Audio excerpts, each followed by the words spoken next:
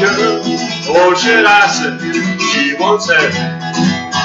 She showed me her room, isn't it good? Norwegian wood. She asked me to stay and she told me to sit anywhere.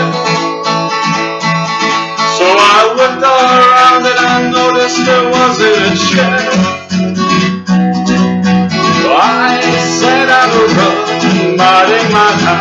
drinking her wine.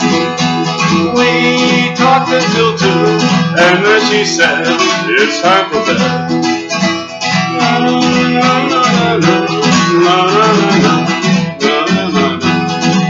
She told me she worked in the morning and started to laugh.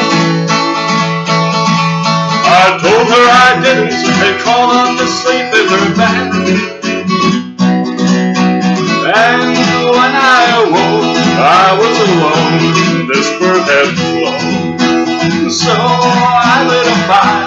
Isn't it good? Norwegian.